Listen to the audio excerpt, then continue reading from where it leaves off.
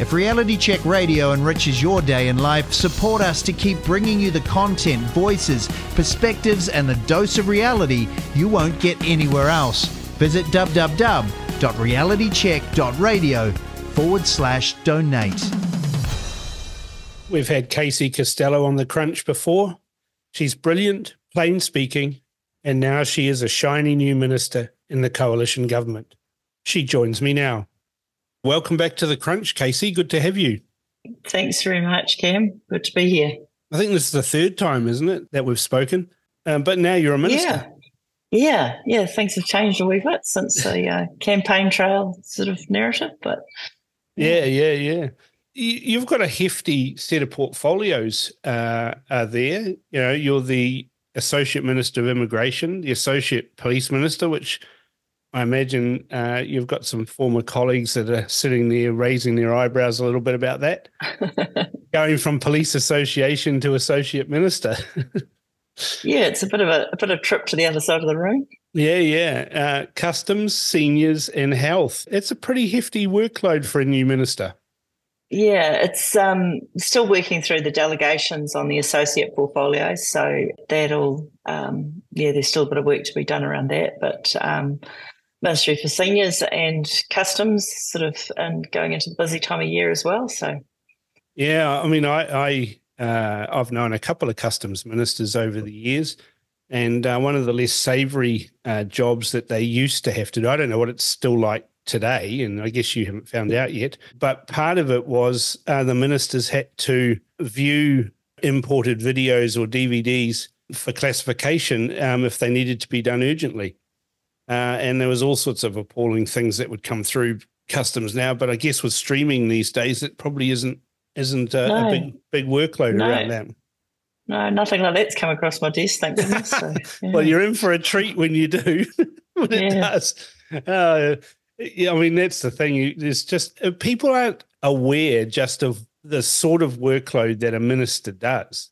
So just to start off today, just give us an idea of uh, give the listeners an idea of what a workload of a minister who has five portfolios, whether they're associate minister or not, what sort of what that sort of work that entails.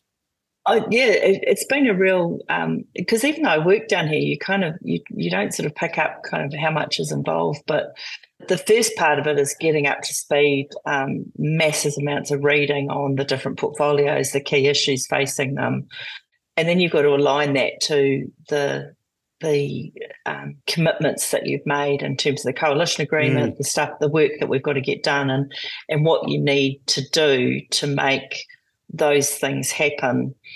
Um, and that's you know particularly for something like the the um, minister for seniors that works across different portfolio in terms of other ministers that that um, you know provide those services whether it's the minister of health or the ministry of social development there's other agencies that you've got to work with. So that's building those relationships. Um, but yeah when when someone said to me you know I'll, I'll try and get you you know because i've been on the other side of the table i'll try and get you half an hour with the minister it really is like that. Your calendar is literally um, you know racing from um, one meeting into the house, out of the house. You've got your, your house duty, your obligations to be in the house for periods of time. Um, yeah, so it's it's full on, and, and I think because there's so much for me to to learn and mm. read and catch up on, and and know what's going on. That's kind of um, yeah, very long days, and then because we've been in urgency um, each week as well, Even so that, that, yeah extends the days out a wee bit. So yeah. Mm you know, you get a lot of people don't understand uh, how the system works. You become the minister. Uh, technically, you're responsible for a whole lot of things, but the reality is, is that you have a whole bunch of officials that come to you with briefing documents, and it's really a, a sanitized version of all the work that they may have done. And then you're in the position where you have to make a decision, but you don't have all the information at hand the information's yeah. in the hands of the ministers. And if you're like the last government, their ministers never questioned their officials, never said, well, hang on a second, how do you come to that that thought process or what how do you come to that conclusion? Are you prepared for that? And I think that's one of the, it's almost like an advantage because I'm so new to this mm. that I I don't even know what a dumb question is. I, I just all I know is that I've come from. I mean, when when you sort of your your only real adult job was in the police and becoming a detective, mm. you just ask questions and you just keep asking questions. And if it doesn't make sense, you keep asking questions. And I suppose it's the the luxury of knowing that that I, I, literally know nothing. So therefore, every question is justifiable to me, and and you just keep asking, um, and you can see it's it's this um, desire to know more and to mm. be informed as as best you can is is the biggest skill you can have in this role, is to just you know not not have a once over likely that every piece of paper you have to read it. You know, you have to know what's the content because you're putting your name to it. You're signing it off. You're saying mm. that you've acknowledged and accepted it. And if I don't agree or I don't know, you know, your your your stack of to discuss pile gets bigger and bigger. But you know, that's that's that's why I'm here. That's that's what I came in to do. So yeah. yeah. There's all sorts of things that little landmines out there, aren't there? I mean, you're in you've just, you know, got your warrant as a minister and then you're thrown in the deep end with this uh, smoking legislation and the vested interests that are wailing about tobacco control and all of those sorts of things. And I saw a, a news article. Uh, when was it? Hold on, I'll just bring it up. Uh, I saw a news article back on the 13th. So what are we, seven? That's a week ago hmm. about mm. snuff and s- smokeless tobacco. And I saw that they quoted you saying, well, I need some more information on this and of course these health uh, people with a vested interest in in keeping. I mean, this is the thing that really rips my undies with these so-called health people is that they've got so many vested interests in it, yet they accuse everybody else of vested interests. I mean, their entire being exists around trying to stop this or stop that, and their funding relies on it. Mm. But you know, you, you said, you know, I think Sweden's one of the first countries in Europe to reach below the 5% threshold. That's a, a really important comment there that probably most readers of the Herald didn't understand. Yeah. Because that 5% threshold is ASH's own metric for saying that a generation is smoke free. Yeah. And, but this is a thing, these health professionals that are in this industry are pushing this uh, narrative uh, that anything that contains nicotine is bad for you. I know from my own personal experience that that's just not true. It's not because I'm an advocate for smoking. I'm not. I, I despise cigarettes. I think they're horrible things. I think they're a pernicious, nasty, addictive product that has no merits as a product in any way, shape, or form, other than they're an inefficient way to deliver nicotine. Mm. Now, you might not know this, but nicotine is very, very important and a key product that helps people recover from strokes. No, I didn't. No, I didn't know that. Yeah. Now, I know this because I've had a stroke, right? Five yeah. years ago. I took up cigar smoking so I could get as much nicotine into my system as I could uh, in the shortest possible amount of time. Uh, because nicotine helps neuroplasticity. And a lot of strokes happen because of a lack of neuroplasticity. But the, these health people, they really annoy me because they're always saying we need to ban this because it's got nicotine in it, you know, and that's why they're talking about snus and and chewable tobaccos and things like that because it got nicotine. And and the thing that I found amazing was Professor Chris Bullen said, um, and he says he specializes in tobacco control, right? He's not convinced more smoking alternatives were needed in New Zealand. Really?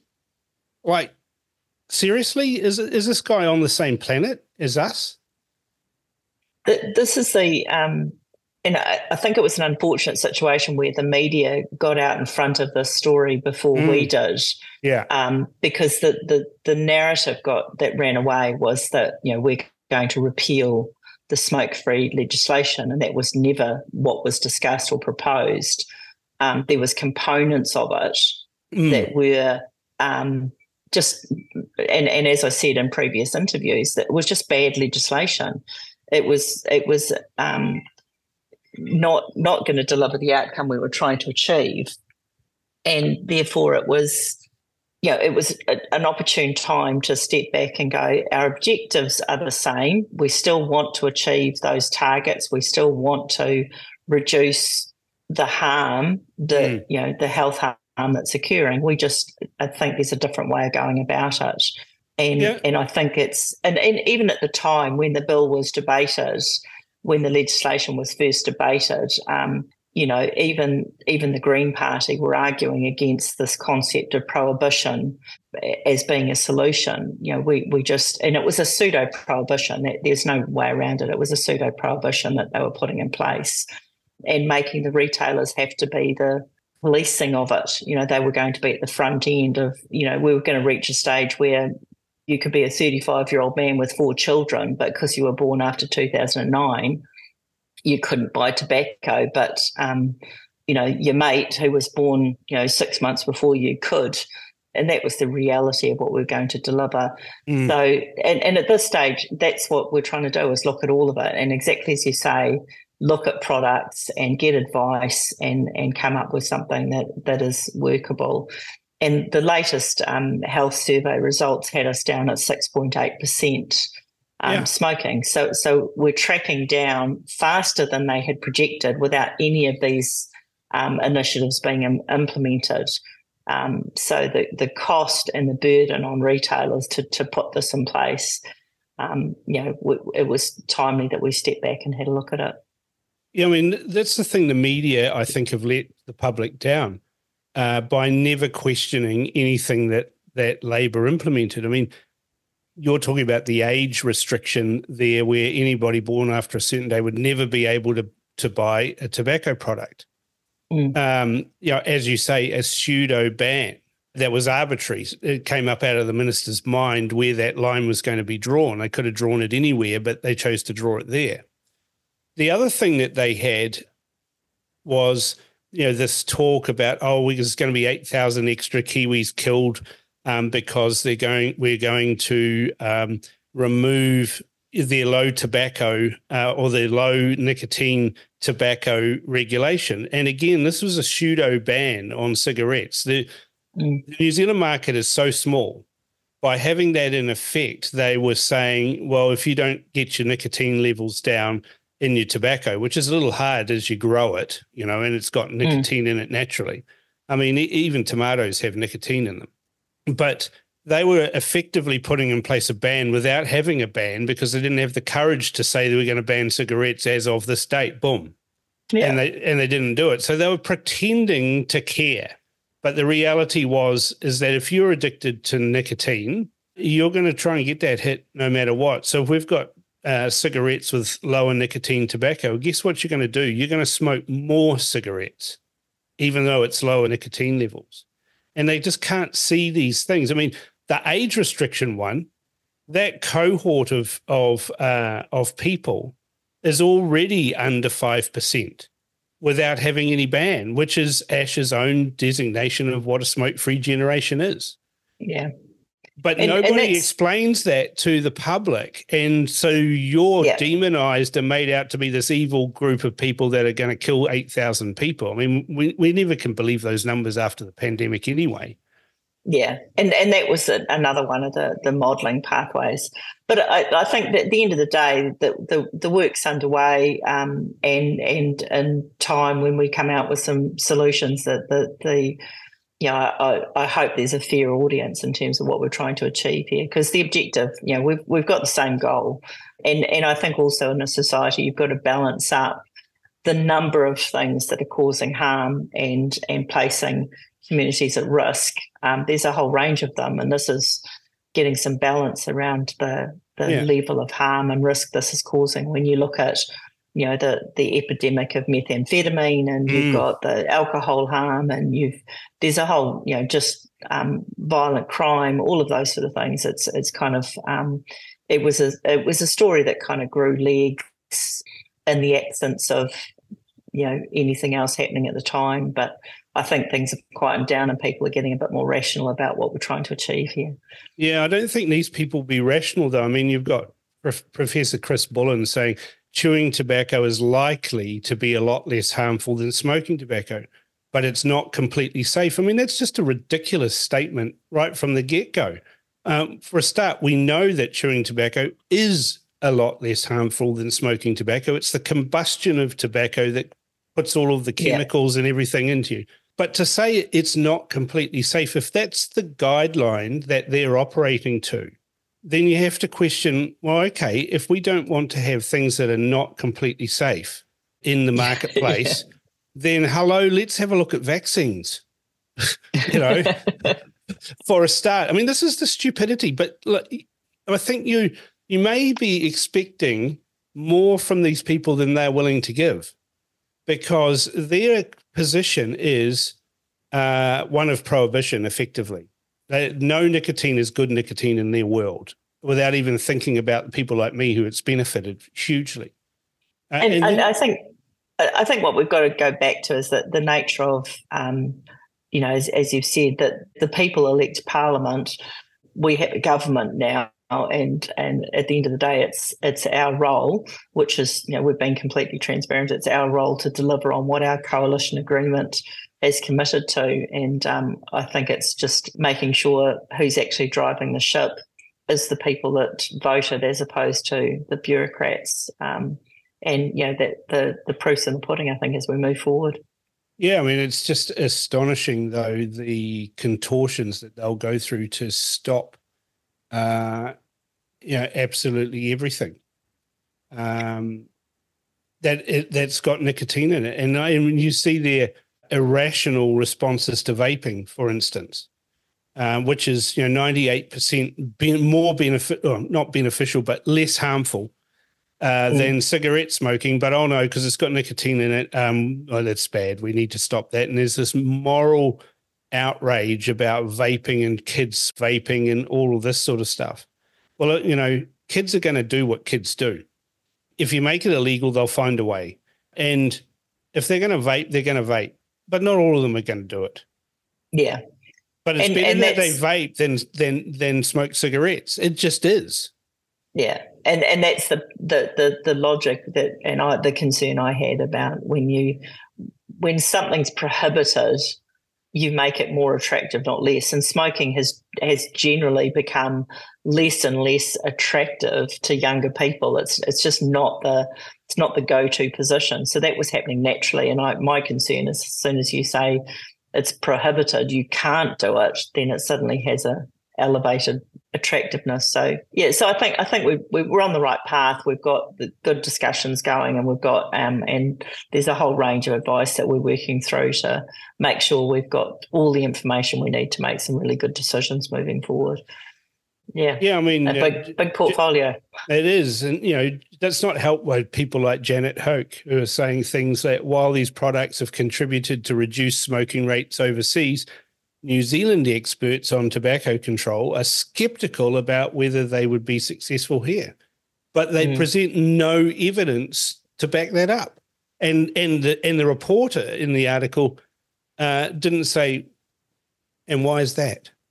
Mm. you know, and so I'm hoping that you as a minister is going to ask those questions. Why is that? What's your evidence? Yeah. Show us you're working, right? Yeah, and and that's that's what I see our role is. I mean, the, the ministerial role is is a lot more important than you know. I think people realise is it's that because you have the authority to ask those questions and demand the information and get the the, the facts to you. Um, and keep digging until you get to the point that you are, are satisfied that you've got all the mm. information.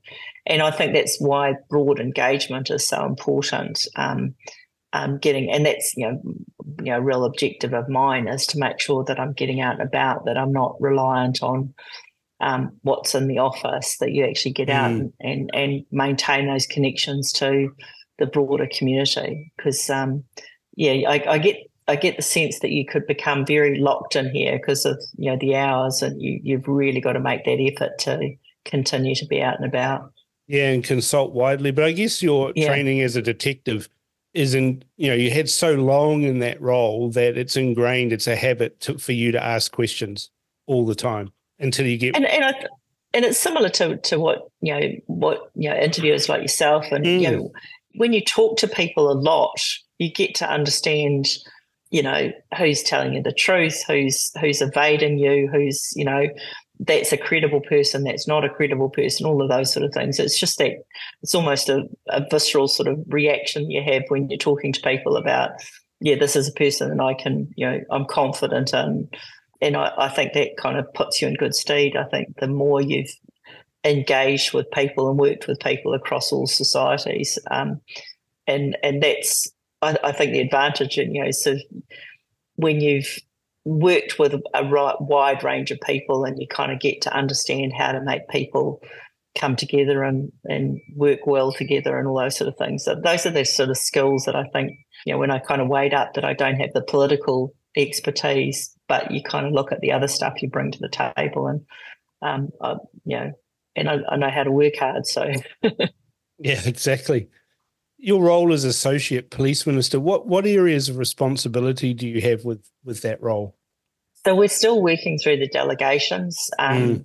The, and that's kind of it, it's hard because you know you've got new ministers and all the roles still trying to get their head around their own portfolios and how delegations would work.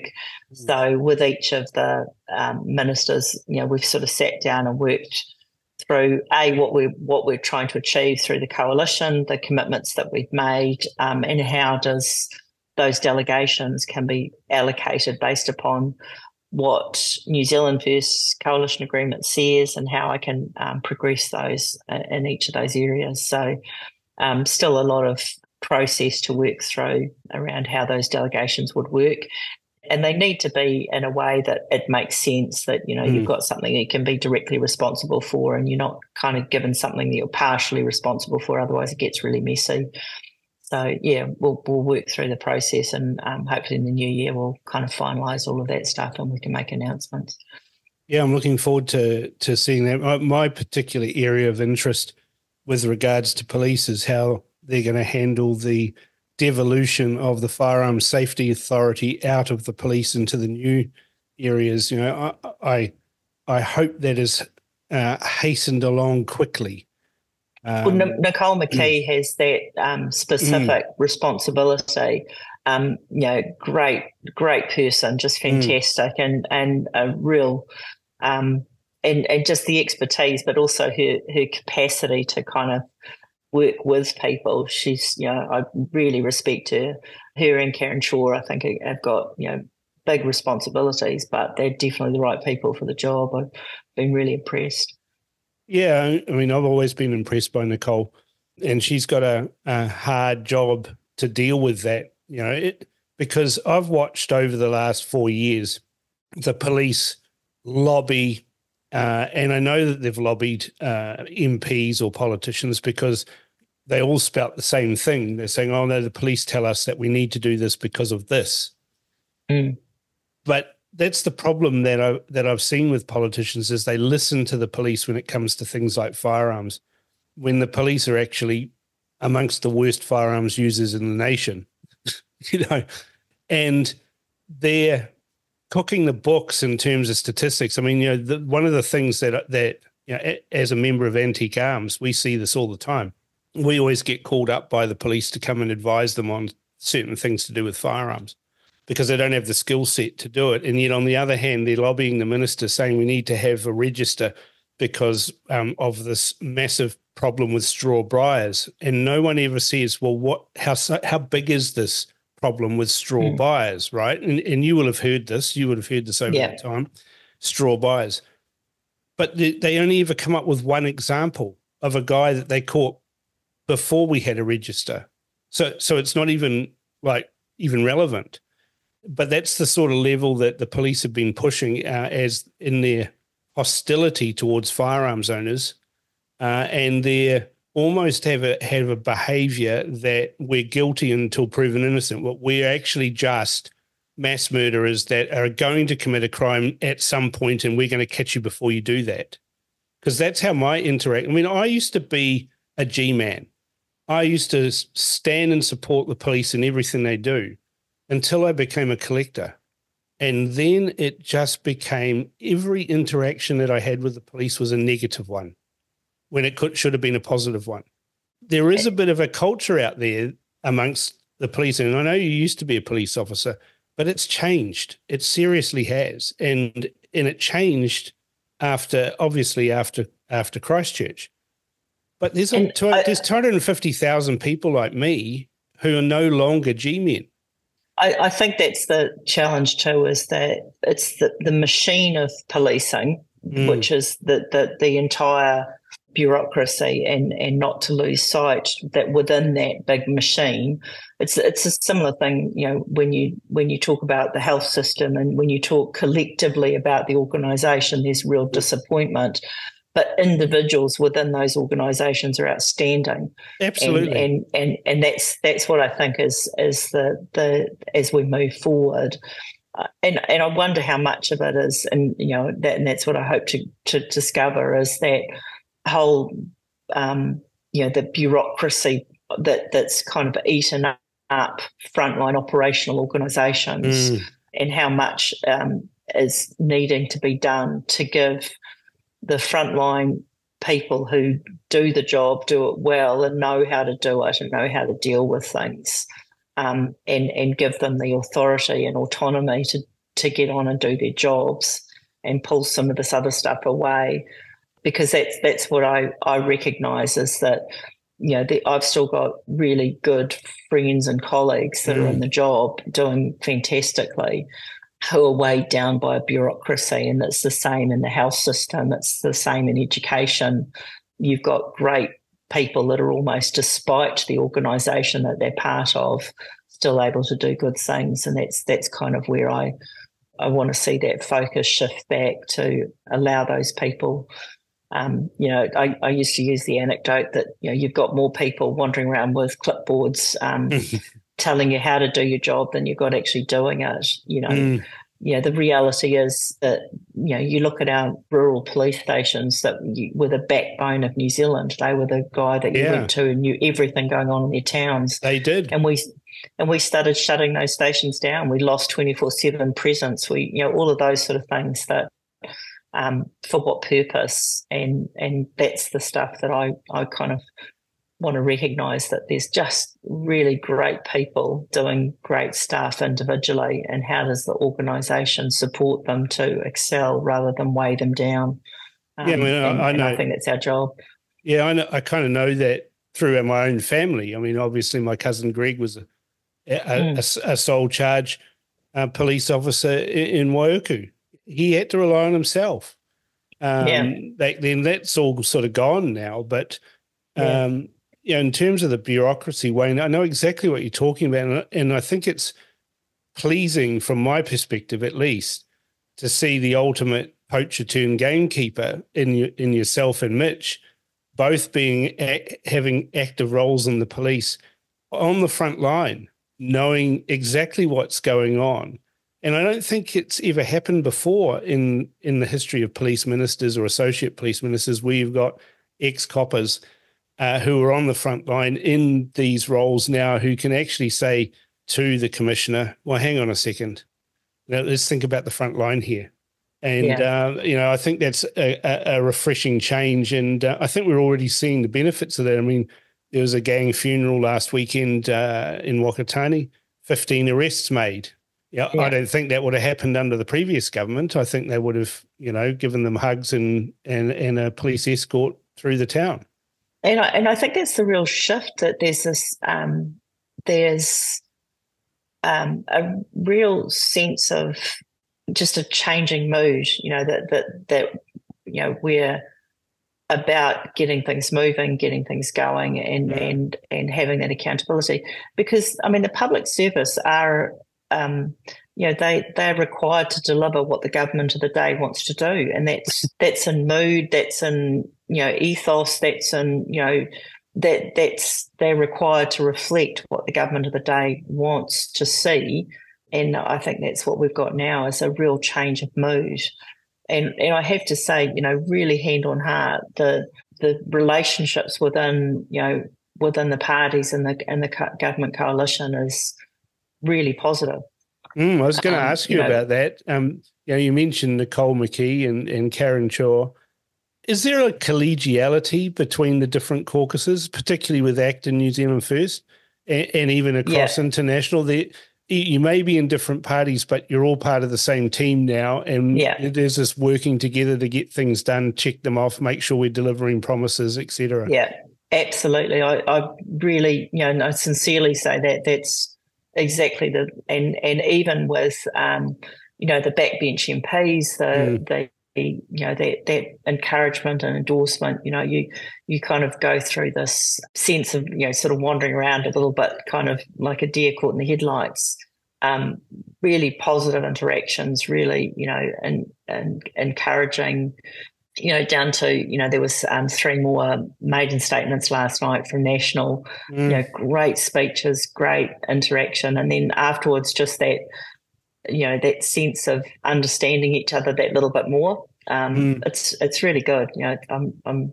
it's it's um I'm finding it and and really smart people like really you know smart um, dedicated people committed to their particularly the electorate MPs you know the mm-hmm. ones that are um, yeah. advocating for their communities just yeah I'm I'm really impressed.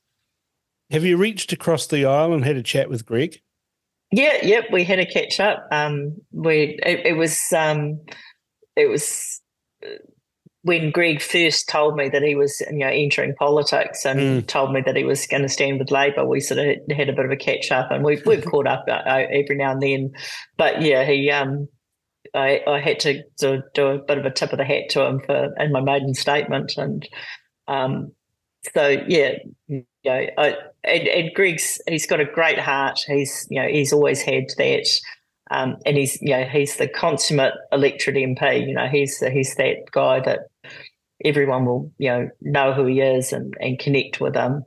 So yeah, I, that's I, the thing I, is that politicians get labelled, they get you know branded, uh, and people don't have the time or the inclination to actually truly understand where someone's coming from, and that includes, you know, uh, across the political spectrum. And you know what you said about Greg there um, being compassionate. That's what I, that's how I've found Greg.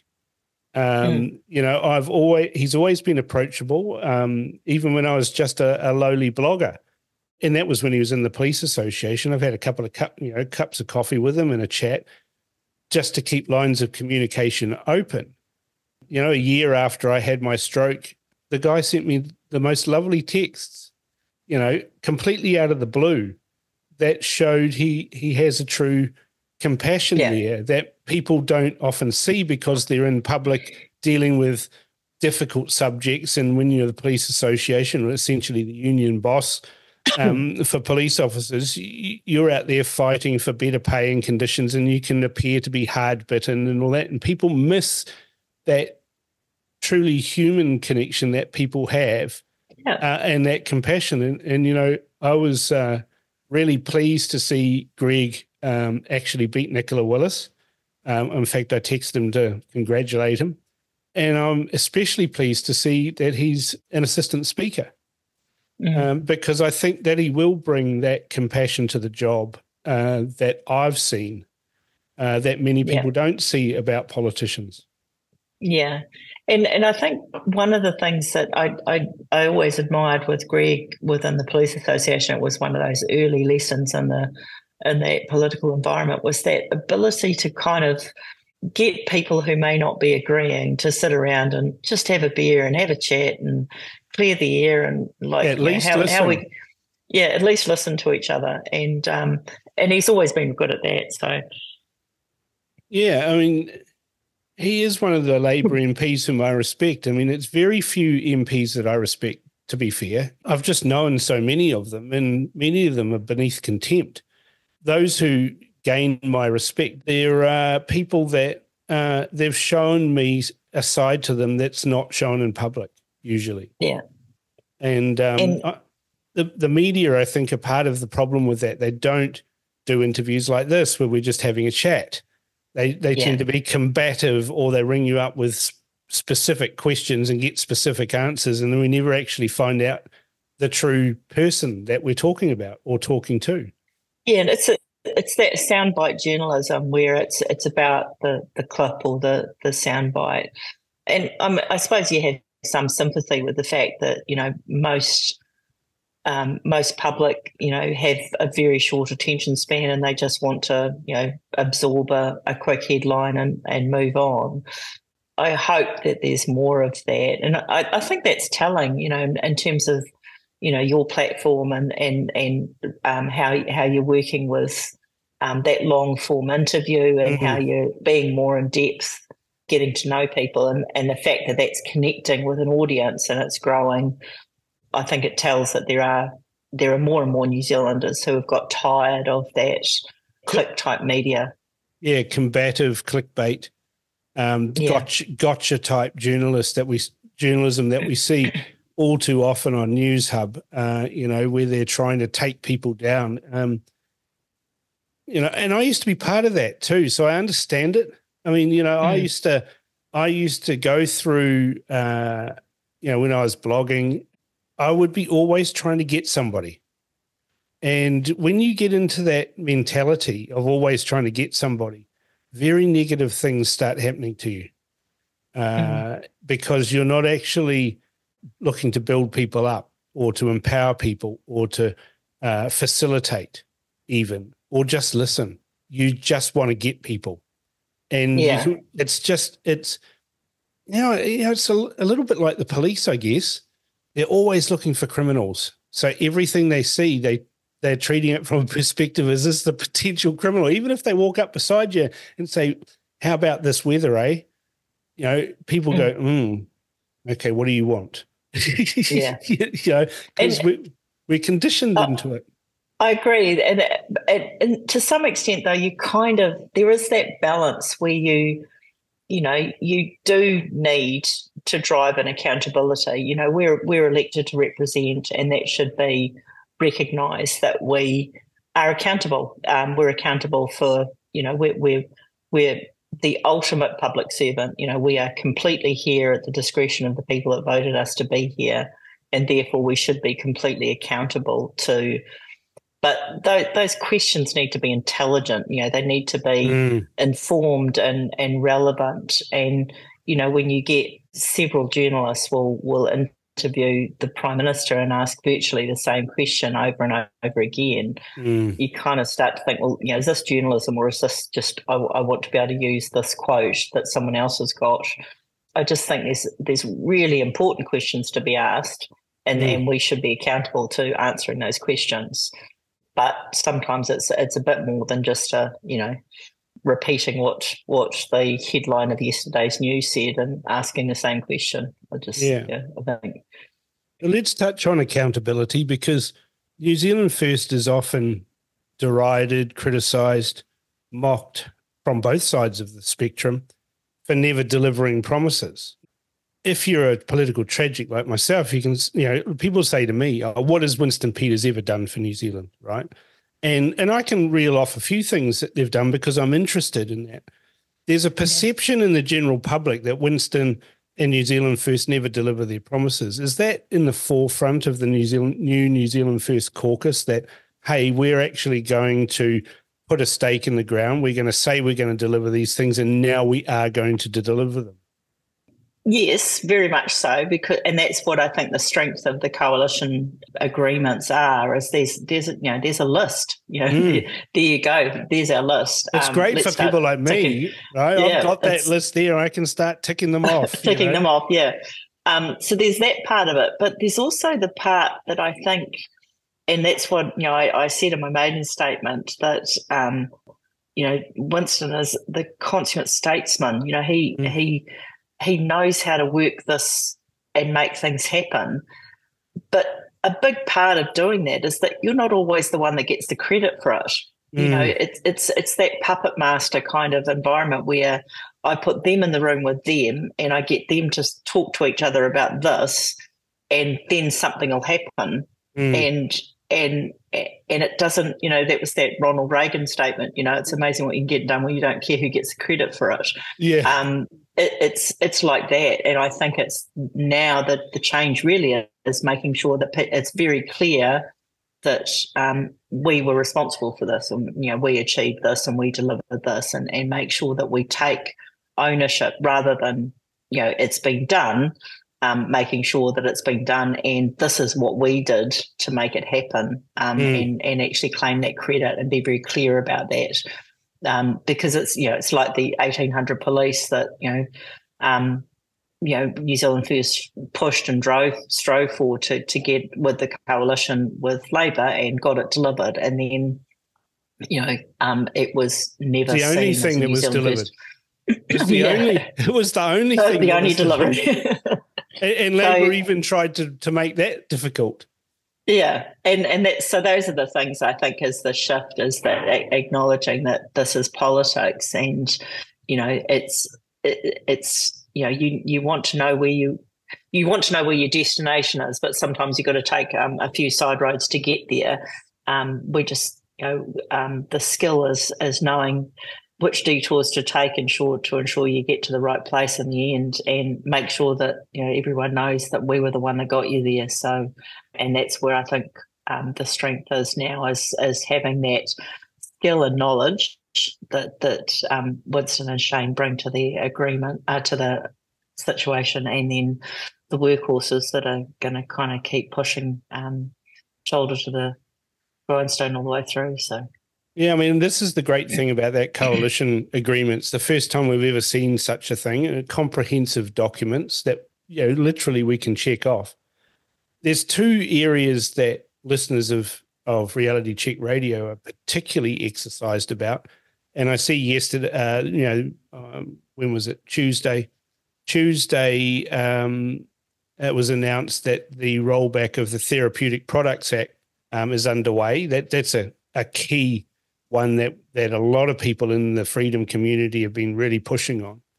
Mm. What's the time frame for hearing about the COVID inquiry or the expansion of the existing COVID inquiry to include, you know, a whole lot of other things? And what is there some work streams that are going on to, to get that happening as quickly as possible? Yeah, there's definitely um, so that that's a, a, a, big program of work, um, and mm. it's about. And I think the the caution is making sure that we're controlling the narrative, that it doesn't kind of run away and and get you know, as you saw with the smoke free, the, the mm. media pick up a story. So that's why I think it, we the work's um, definitely underway, but we we want to make sure that that this isn't run by the media; it's run by the, the government, government. Has, has got yeah. control of it, and so therefore, you know, we'll, we'll we'll work through that process and be very considered about how we um, take this to the public so that um, it doesn't get you know distracted and um, because the, the, greatest risk is, you know, we, we clearly have a, a, a, um, a, confirmed objective. It's clearly stated what we're trying to achieve. Um, and there's a, a commitment from the coalition collectively to do it. And, and we just want to be smart and intelligent about it. Um, mm.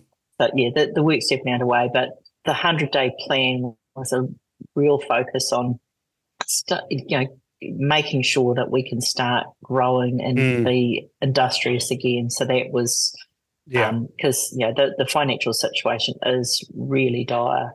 Mm. So we that had to be the focus really because there was going to be no money to do anything else if we didn't kind of start getting the wheels moving again. So yeah, it always reminds me of Maurice Williamson's favorite quote that everyone wants to go to heaven, but no one wants to die. yeah. Yeah, yeah. but yeah, um, yeah, and that's that's pleasing to hear. For the listeners, will be pleased to hear that there is work underway on the on the COVID inquiry. Um, but you know, I've been watching politics. I mean, it's hard to think exactly when I started, but you know, I'm 55 now, so you know, let's call it 40 years, 15 years old, maybe probably earlier than that. Let's call it 45 years. I've been involved in politics, and and of course, a good chunk of that is under the MMP environment been involved in politics deeply uh, in all of the MMP years. I can't recall a coalition where everyone seems to be on the same page. Where they, I mean, I, I remember the the first MMP coalition, New Zealand First and and National. Yeah, there was white anting going on from inside National. Um, there was ankle tapping, there was all sorts of stuff. And we saw that even though there was a coalition on the surface, that underneath that surface, that there were two teams that were struggling with each other. Um, yeah. I've seen that uh, too with um, you know Helen Clark's governments that she was always struggling with factions within her own party, let alone the disparate factions that that joined in with that. John Key had similar problems. You know, a much different Maori party back then. Yeah. They actually had integrity and mana uh, that was earned, not demanded, um, but it was still fractious. Um, what I'm seeing now is something different. It's something I've never seen before in all the years I've been involved, involved in politics, where yes, there's three teams in the coalition, but it seems you're all signed up to singing from the same song sheet and praising each other across parties when jobs are, are, well done. You know, if Chris Bishop does something well, there'll be a New Zealand mm-hmm. first associate minister that might say, well, that was fantastic. You know, well done, Chris. Da, da, da. There seems a cohesion there that I've never seen before in New Zealand politics. And, and this may actually be the nirvana of MMP, where it is a true majority that represents the majority of New Zealanders based on the vote, and you're actually embodying that in the in your actions. I mean, this is amazing. Yeah. I, have sat and reflected on it. I thought, I've not seen this before, and I'm liking this. Yeah, and I wonder how much of it is when you know, you know, when when you've got a common enemy it's amazing how well people can work together. You know, if if and I think that we've got a really clear demon to slay. You know, like there's this real the media sense of but but across the board, you know, we know yes. that we're in you know pretty dire situation across mm. the board in a lot of areas. So when when you've got a really clear objective, which is what the coalition agreement has has given us, you're not so distracted by the, the, the noise on the peripheries. You've got a really clear objective, and that's what I say is that you know every day we're kind of looking at um, what's next on the list. You know how how can we make this happen? Nationals, you know, got some important legislation. Um, Acts got their um, the 90 day trial mm. legislation. So we're all really supportive of that. So when you've got that common objective, it's I think it makes it easier to to keep focused and not be distracted by the white noise on the periphery. So. Yeah, you mentioned before about the public service and the expectation that they do what the government wants. Yet we've seen the public service lobbying against things that a democratically elected government has decided in a coalition agreement is what they're going to implement because that's what the voters elected us to do. And you've got these guys coming out opposing everything. You know, you've got a clear directive from the government to roll back the 90 day day um, legislation or expand it. It's not really rolling yeah. back, but rolling back some aspects of it that were ridiculous, fair pay agreements and those sorts of things. And you've got the, the PSA coming out opposing that. You've got Treasury officials who are saying, oh, no, we actually think you should keep the fair pay agreements in place. They're colouring it by saying it's advice. But of course, the media says Treasury says keep fair pay agreements in place, and the implication is that the media agree with keeping fair um, payment agreements in place, as as do these officials, even though they gave three options.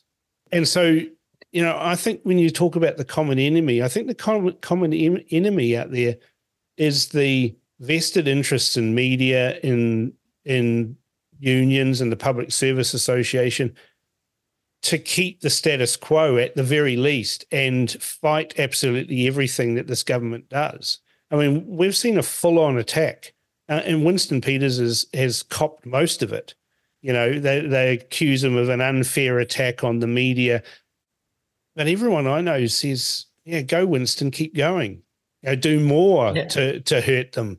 Yeah, you're over the target. You're copping flack, you know, so you're over the target. I really think that common enemy actually is the mainstream media because they're out to get you.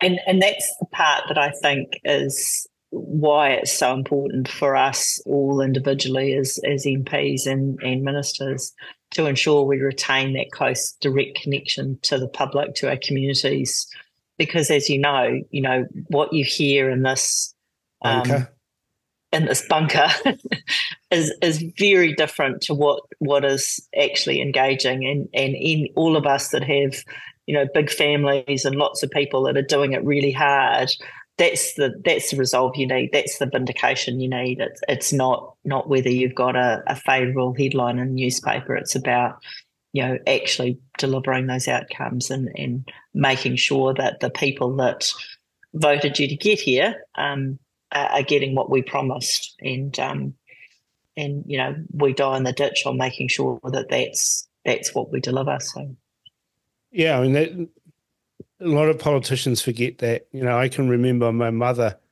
haranguing politicians around our dining room table um, when they were being arrogant or uh, overbearing. It was my mother that was um, telling them off you know, or mm. point, pointing the finger at them and saying, you know, in the next election, you're going to lose your seat.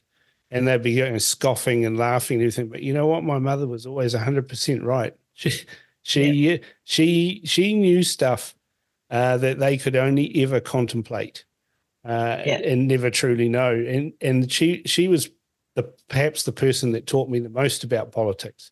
You know, she taught me that, you know, when the ministerial, when the ministers arrive, that there's actually other important people that you need to look after, and that's the drivers and and the staff yep. and and those. So she would always go out out onto Mountain Road, knock on the windows of all the Crown limousines, tell them all to come inside, and they'd be all downstairs playing pool and uh, drinking coffee and eating scones that Mum had made them, and all of that sort of thing.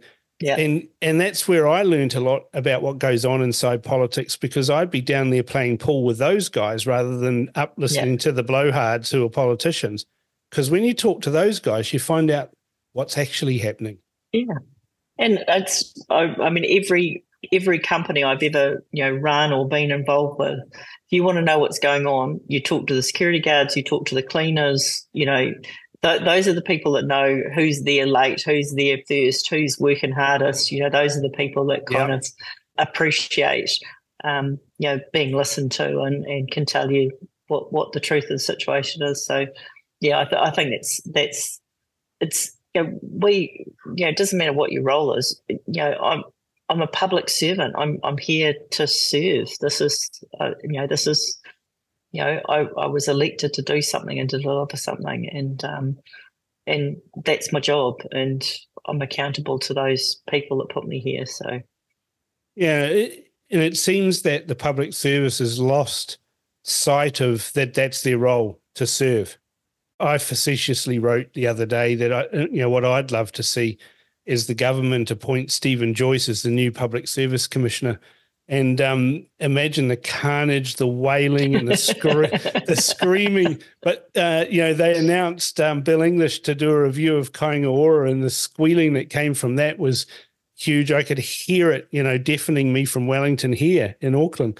But you know, I, I think that would be a delicious thing to do is put Steven Joyce in, as the public service. I mean, there can be no uh, misunderstanding here. The public service no longer serves the public. They're serving yep. themselves. They are hostile to, you know, they've become political. Well, if that's the case, then we need to head down the path of what happens in the United States after election when, when a government changes hands. The bosses of the various departments change hands as well because they need trusted people in there to implement what the government yeah. wants. And I think we're at that point now in New Zealand. I think there can be no uh, mistaking that the public service has become political, and therefore we need political solutions to solve it. I, I would say though that, and I think there, there's a real strong caution in there. And, and you, I mean, I know you're you're just generalising, but I think we can't lose sight of the fact that, that within all of these bureaucracies, there's great people. Of course, and it's just it's just about making sure the ones that have the good ideas and the, that they are recognised and given license to do what they know and and what they can contribute to the solutions because um, and that's the, the that's why you know being there, you know, knowing who the cleaners are, knowing who the drivers are, knowing, you know, th- th- that's how you tell where the answers that, you know, um, in, in any organisation doesn't have to be a, a, government agency, but I think that's the part is, is getting in there and, and wading through the, so that you're not just talking to the top echelon, that you're talking to the people that are doing the job and making sure you're getting the right information. Now, I've got two more questions for you. And they're the questions I'm going to ask my buddies at the end of the show. What do you think in the last year for you? Uh, this is this is your choice here. What was the best thing about last year? And it can be personal, can be political, could be business related, can be anything. I just want to hear what you think is the best thing that happened in to you or or to New Zealand in the last year. And the second question to follow on from that is what are you hoping for in the next year to come? I, you know, and it sounds trite, but the best thing was to to get here. Mm. Like I never for an instant thought that I would.